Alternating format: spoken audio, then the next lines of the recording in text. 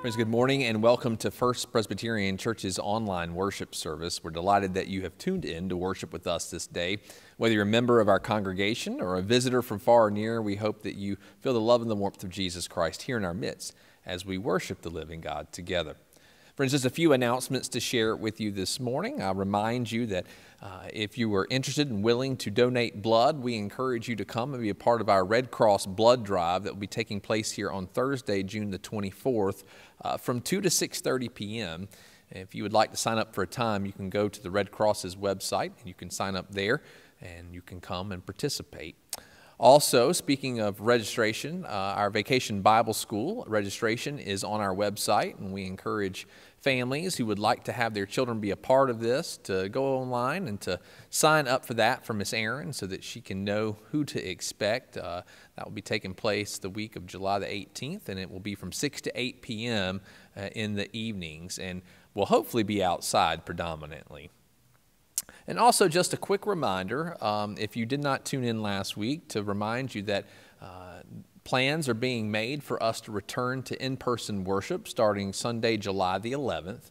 Uh, those plans continue to be in place, and we will w- wait for the session to approve everything here at the end of the month.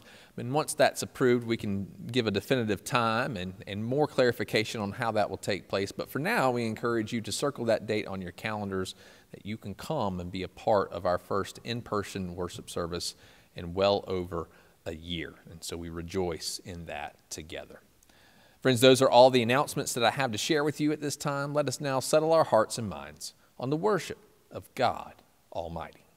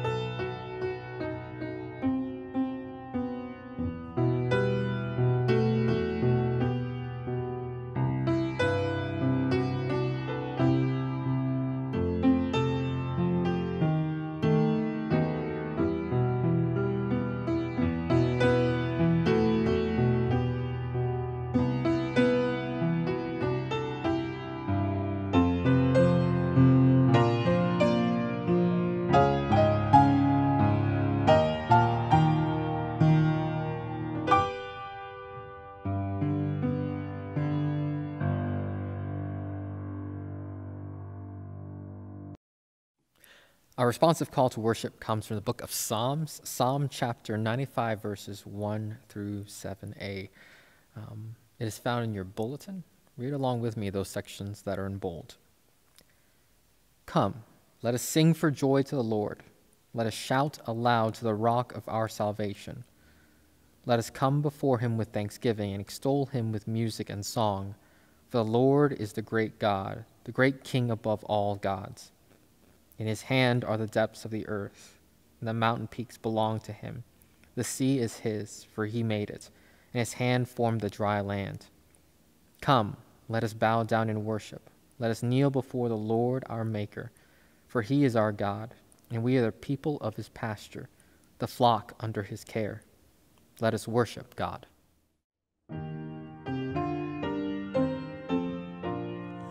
Open now thy of beauty, Zion led me unto thou, where my soul in joyful duty waits for God who answers prayer. Oh, how blessed is this place, filled with solace, light, and grace. Gracious God, I come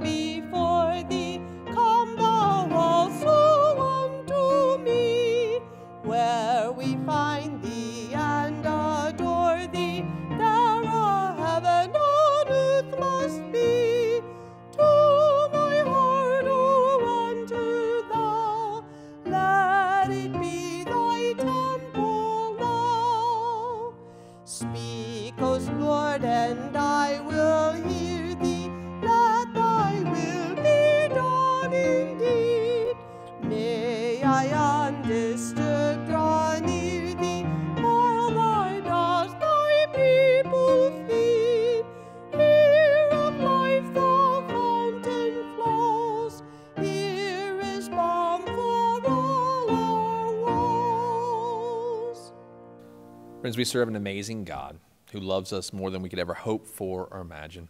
A God who enters into our world in Jesus the Christ and who calls us by name and calls us to follow him and to walk in his ways. And as you know, many of us try to do that, but so often we fail uh, miserably at times to follow Christ in the ways in which he calls us. And so, together as God's people, we come and we humbly confess, acknowledging our sins before the Lord, knowing that the God that we serve is willing and just and able to forgive us of our sins and to purify us from all unrighteousness. So, friends, I invite you to join us in our prayer of confession this morning that you'll find on your screen or also printed in your bulletin. Let us pray together. Holy God, in your love, you reach out and pursue us with your grace. Even though we know your goodness and your graciousness, we still turn away. So often our hearts remain hardened and we stubbornly refuse to listen to your voice. Lord, forgive our foolish ways. Change our hearts, O God. You are the potter and we are the clay. Mold our hearts to reflect your very own, that we may be your witnesses each and every day. For we offer our prayer to you in the strong name of Jesus Christ, our Lord and our Savior. Amen. Friends, the good news of the gospel is this while we were yet sinners, it is Christ who died for each and every one of us.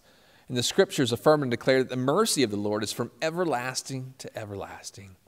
Indeed, as far as the east is from the west, so far has God removed our sins from us and remembers them no more. So, friends, I urge you to believe the good news of the gospel this day. In Jesus Christ, we are forgiven. Thanks be to God.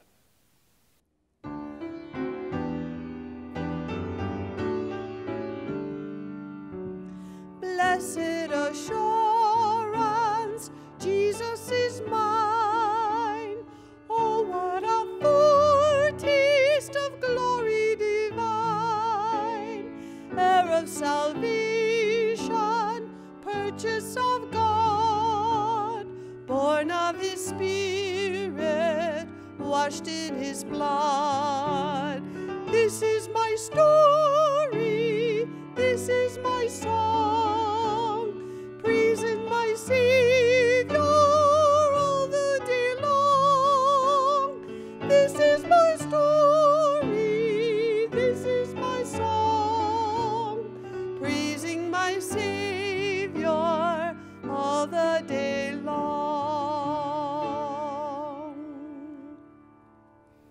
As we have received Christ's grace and peace this day, let us in turn now pass the peace of Christ to one another. Friends, may the peace of Christ be with you.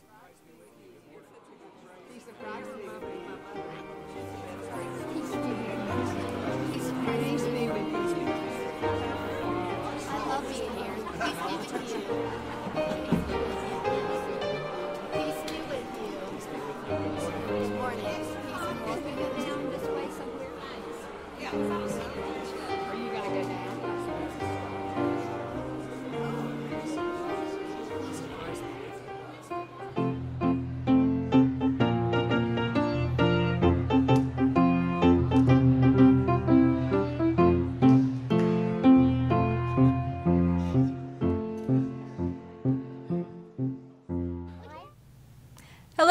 happy Sunday.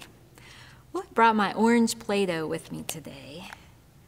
I enjoy playing with Play Doh. It's soft and flexible, and I can make it into a lot of things. I like to make balls or snowballs, snowmen. Sometimes I make worms. I seem to always be making worms and birds' nests, and I think I can even make it into a heart. It's so soft, so I can push it down flat and make a little dip in the top and a little point at the bottom. And there's my softened heart. Well, also, when I was finding my orange Play Doh, I found some white Play Doh, and I had left the, the lid off of it, so it's not soft, it's hard. And I can't make anything out of this white, hard Play Doh. This reminded me of something in our Bible scripture today. It says in our Old Testament, God's Word, the truth, that Pharaoh had a hardened heart. It wasn't soft, it was hardened. Now, Moses, he had a softened heart, like our orange Play Doh. And God was able to use Moses to lead his people, the Israelites, away from Pharaoh and away from slavery. So, what causes Pharaoh to have the hardened heart?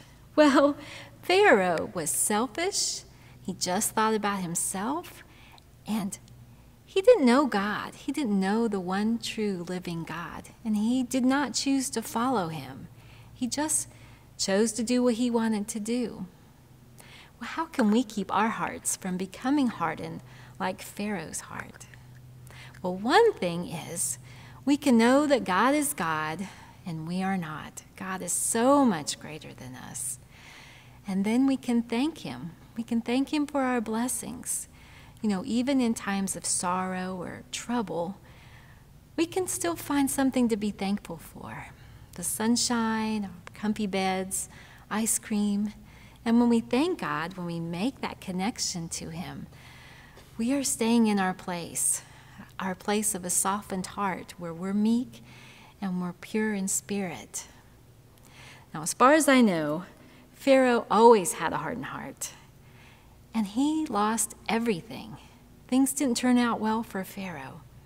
And if we have a hardened heart, the same thing will happen to us. So remember Moses and his softened heart and how God could use him.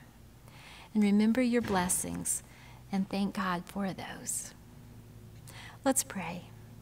Heavenly Father, thank you for your word that shows us how to live. And Lord, help us to see our blessings and always be thankful to you and keep our hearts soft. We pray in your name, Jesus. Amen. If you've been walking the same old road for miles and miles, if you've been hearing the same old voice tell the same old lies, if you're trying to fill the same old holes inside, there's a better life.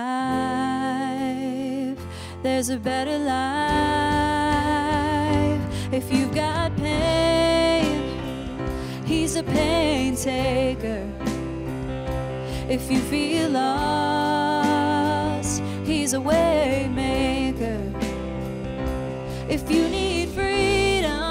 or saving, He's a prison shaking Savior. If you've got chains, He's a chain breaker.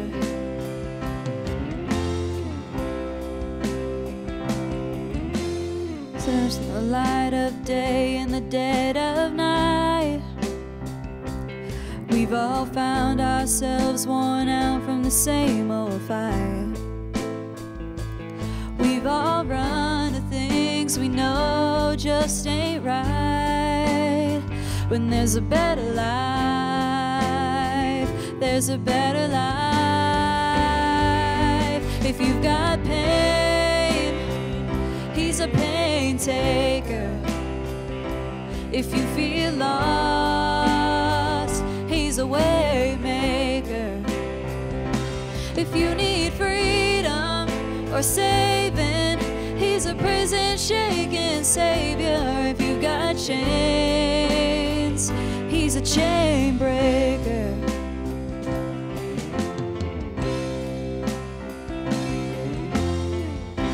If you believe it, if you receive it, if you can feel it, somebody testify, testify. If you believe it, if you receive it, if you can feel it, somebody testify. If you've got pain, he's a pain taker. If you feel lost, he's a way maker. If you need freedom or saving, he's a prison shaking savior. If you've got chains, he's a chain breaker. You need freedom or saving, he's a prison shaking savior. If you've got chains, he's a chain breaker.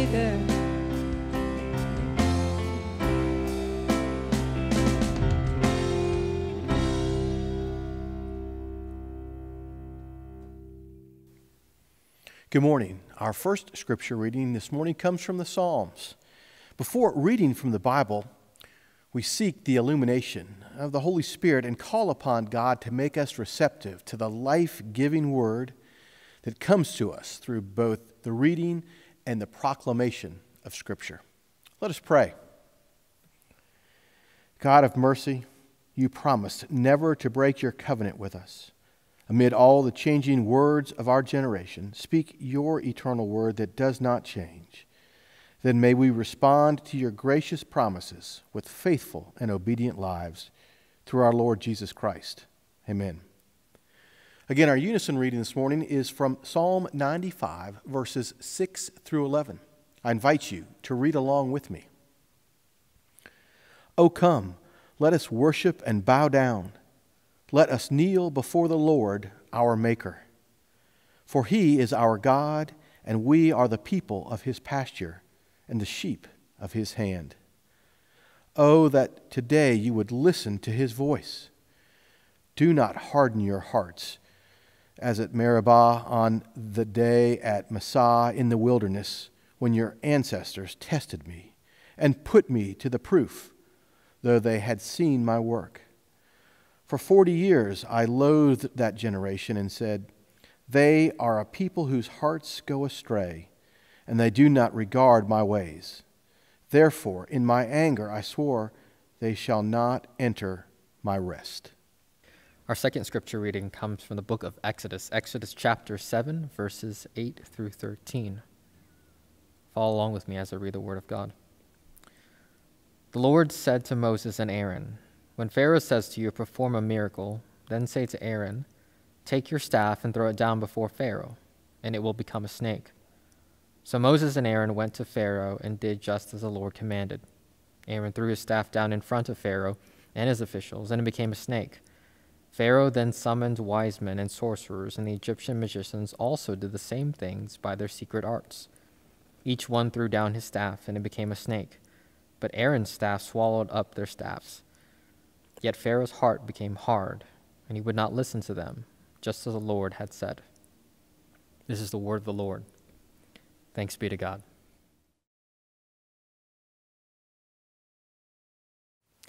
Stubborn. That's the best word that describes my sweet dog, Bella. Honestly, she's a great dog. We rescued her about three years ago from the Avery County Humane Society, and she came to live with us.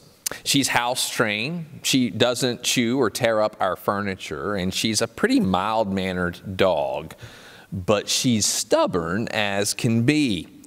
Now, she's a hound mix. We seem to think that she is a walker hound, so she loves to chase squirrels and chipmunks and rabbits all around our yard. She's even been known to dig up the yard and find a few moles uh, and take care of them for us. But did I mention that she's stubborn? You see, you cannot get her to change her mind. If she decides that she's going to do something, she's going to do it whether you tell her no or not. And if you want her to do something, she's not going to do it unless she makes up her own mind to do it. For instance, at nighttime, she will jump up onto the bed uh, between Angela and myself, and she decides to lay down with us. But when she does that, she puts all of her weight or leans up right on top of me, sometimes literally on my leg or on my side. And of course, I can't deal with that very well. I'm not going to sleep well when she does that. So if I tell her to move over or I try to get her to move over, she just lays there like dead weight. She acts as if she's deaf and doesn't hear a word that I'm saying. And she knows exactly what I want her to do, but she's too stubborn to move. She will only move if I force her to do so. We once had a bear come into our front yard, and she happened to be outside, and she was barking and acting crazy. And when I went outside and realized that this huge black bear was there, she was chasing after it. And so I yelled at her and begged her to come over away from the bear and in towards the house, and she didn't listen. She was literally on this bear's heels trying to bite him. So I had to run out near this bear and grab her by the collar and drag her back towards the house. This bear could have killed her with one swipe of his paw. Now, she's a lovable dog, but she's stubborn. Absolutely stubborn. Maybe you have a pet like Bella, or maybe you have a spouse like Bella, or a child, or maybe, just maybe, you happen to be stubborn too. As we continue our sermon series on Exodus this day, we read that Moses and Aaron have gone back to Pharaoh, even though he had told them previously that he wouldn't let the Israelites leave. Now, God had told them that Pharaoh would ask them to perform a miracle when they met with him. So he instructed them to throw Moses' staff on the ground, and in doing so, it would become a snake. So they showed up to see Pharaoh and indeed he asked them to perform a miracle. Now, Pharaoh wanted some sort of proof that their God had really sent them to him, and this was the moment of truth, a moment that would provide credibility that they weren't just trying to trick Pharaoh into letting the Israelites go.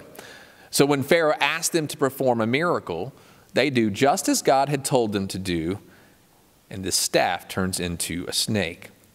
Well, that's at least what our Bible translations say. You see, the Hebrew word here, tanin, suggests that it was more than a snake, more like a scary sea monster or dragon.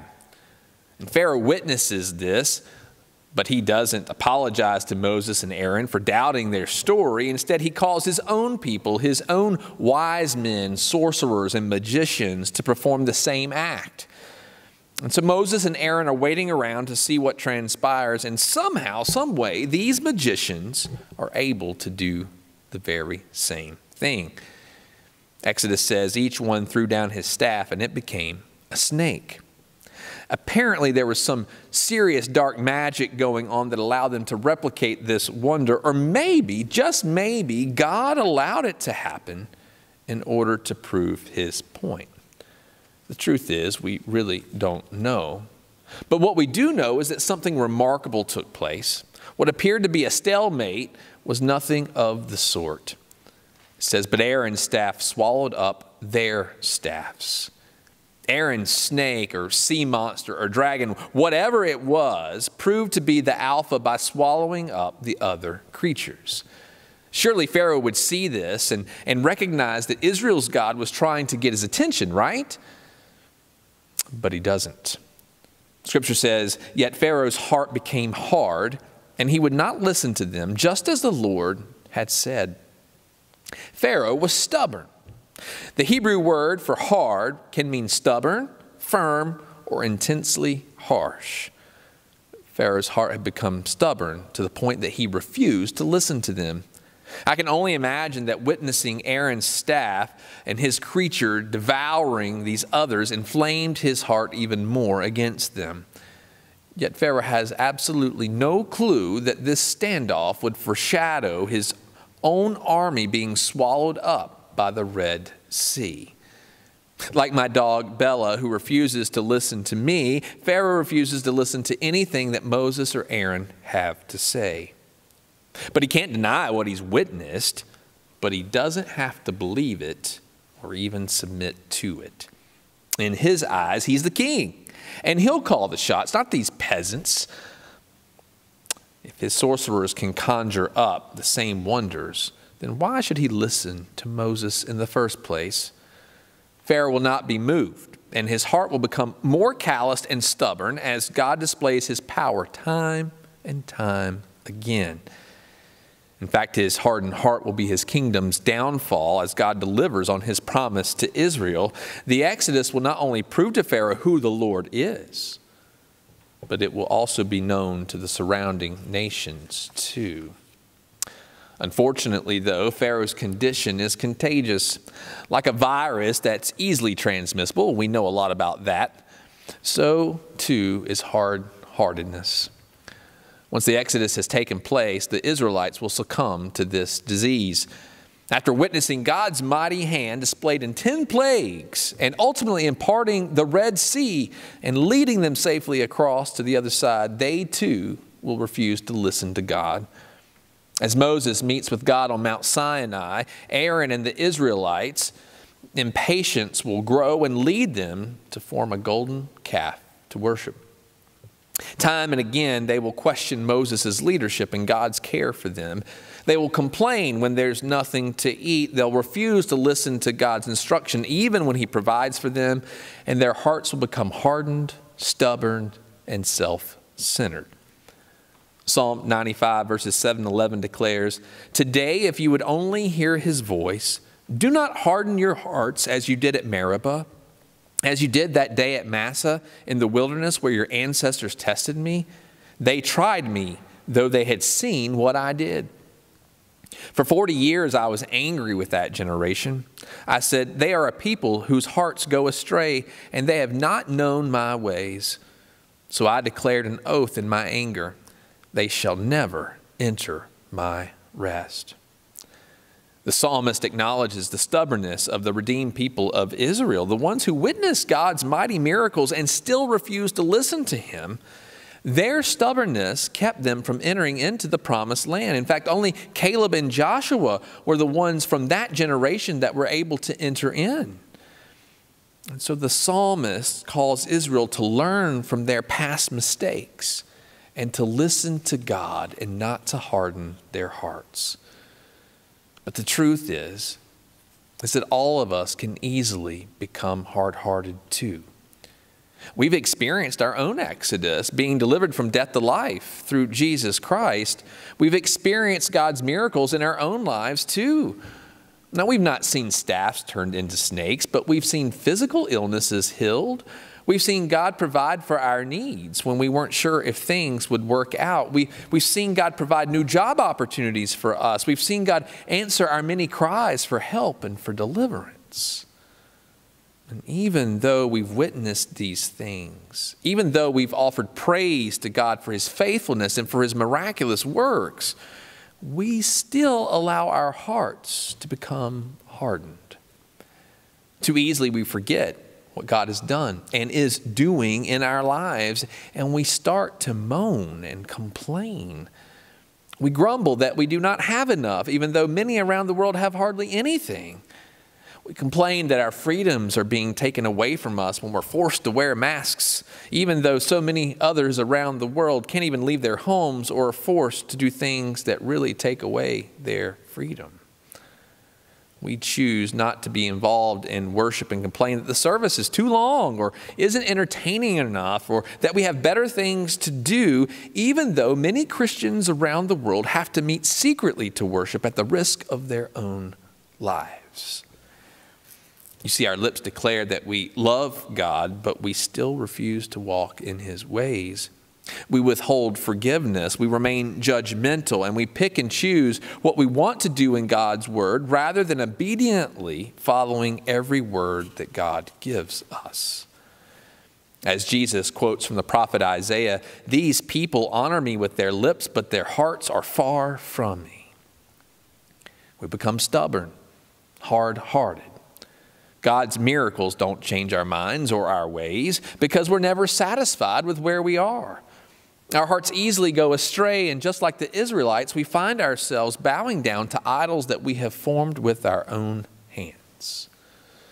We're stubborn, stiff necked, and hard hearted people who need to repent of our foolish ways. As the psalmist begs Israel, so God begs us today. If you would only hear his voice, do not harden your hearts. Jesus tells us in the Gospel of Matthew, For where your treasure is, there your heart will be also. The truth is, is that we've got heart problems. If our greatest treasure is found in anything other than the Lord of heaven and earth, our Creator, our Sustainer, and our Redeemer, then our hearts will be led astray. You see, God has made Himself known to us. We've read His living Word that shows us His faithfulness throughout all of history, and we've experienced the love and grace of the living Word, Jesus the Christ, who has shown us what sacrificial and unconditional love truly is. We've experienced God's miracles and we know that He is real. We believe that He's the way and the truth and the life. But you see, it's not just enough to believe it.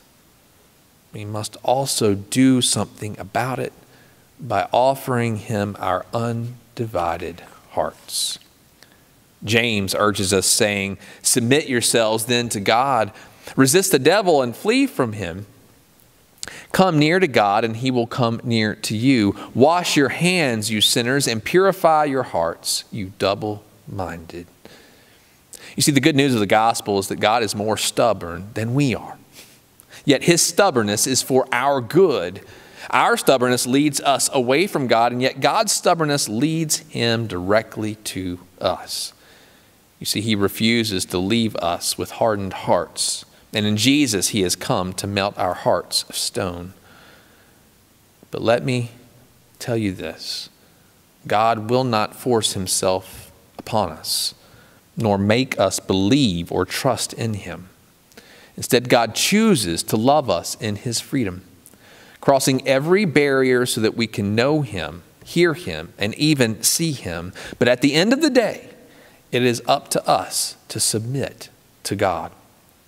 Pharaoh chose not to do so, and he experienced the mighty hand of God upon him. Many of the Israelites continued to have stubborn hearts, and they missed out on entering into the promised land. And today we come before God with the same choices to submit and allow God to mold and shape our hearts into a heart like His own, or to ignore God's voice and attempts to get our attention. You see, friends, my prayer is that we would humbly submit our hearts to the Lord, who's done everything in His power to show us His love and His faithfulness and His unwavering grace.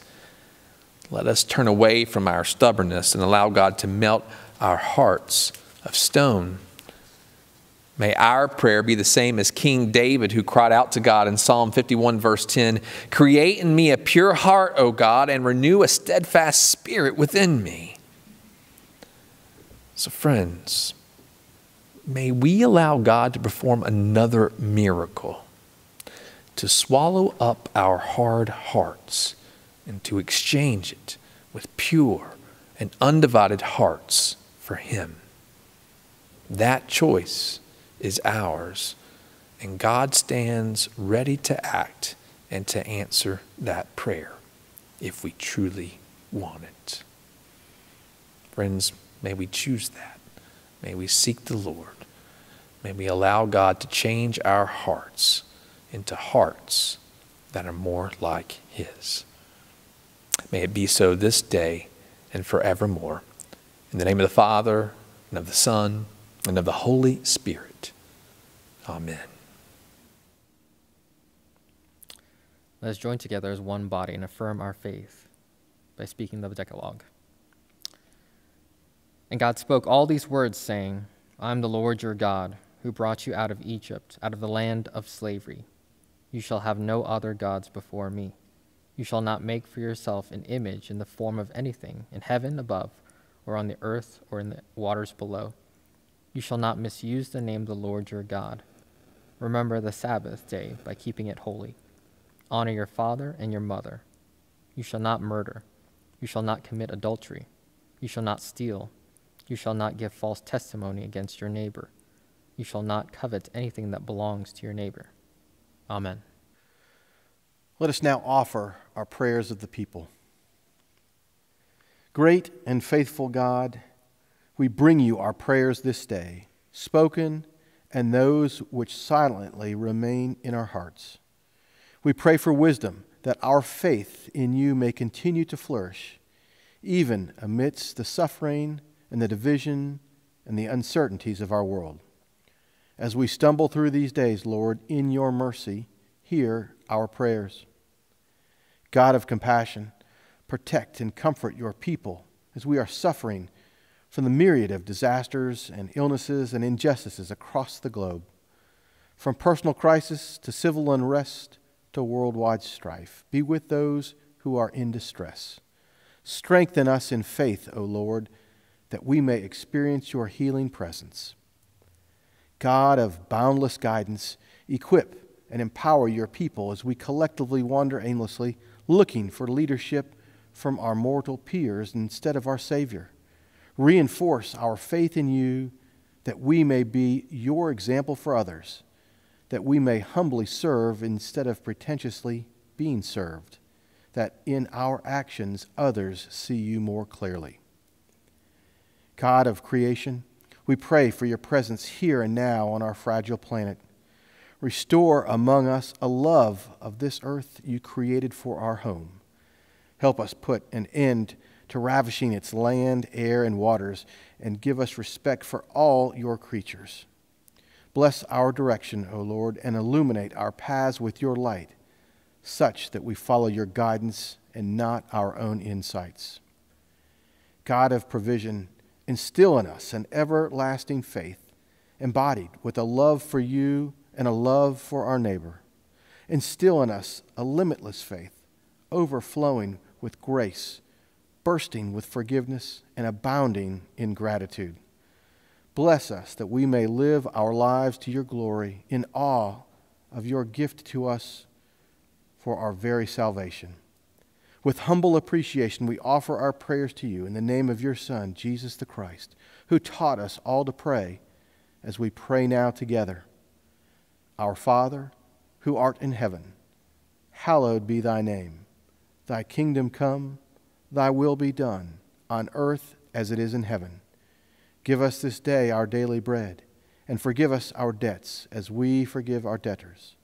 And lead us not into temptation, but deliver us from evil.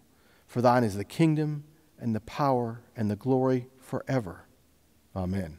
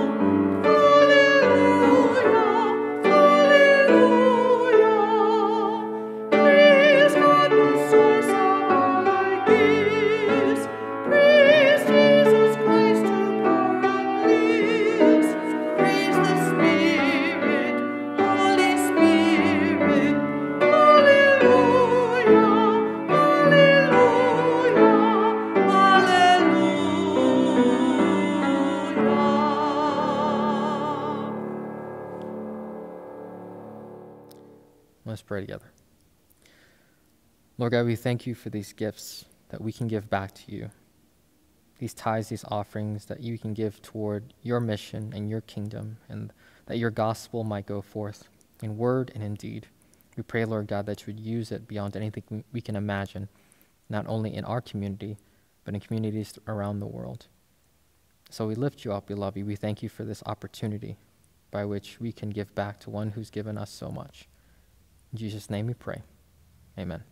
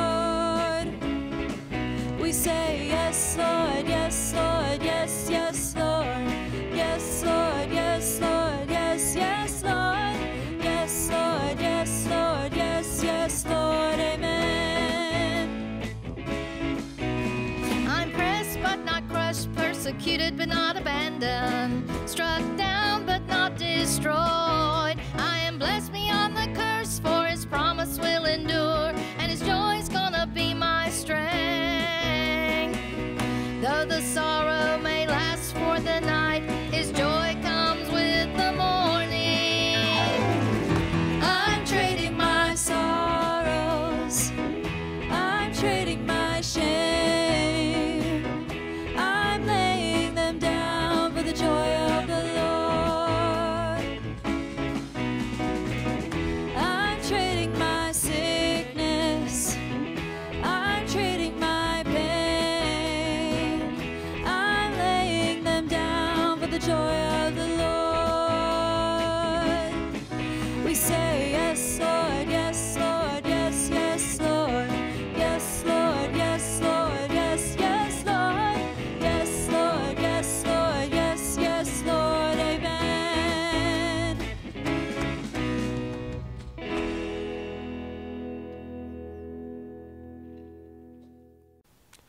Friends, today I charge you not to harden your hearts, but to allow God to soften and mold and shape your heart into a heart like His own. That together we might trust God with all of our heart, that He might be our greatest treasure, and that we might acknowledge that within our hearts, that acknowledges that within our lives and the ways in which we live. And so that is my prayer for all of us, that we would listen to His voice and not just listen to it, but act on it. And as we do so, May we feel the comfort and the peace and the grace and the love of Almighty God, Father, Son, and Holy Spirit. And may your Creator, and may your Redeemer, and may your Sustainer be with you this day and forevermore. Amen.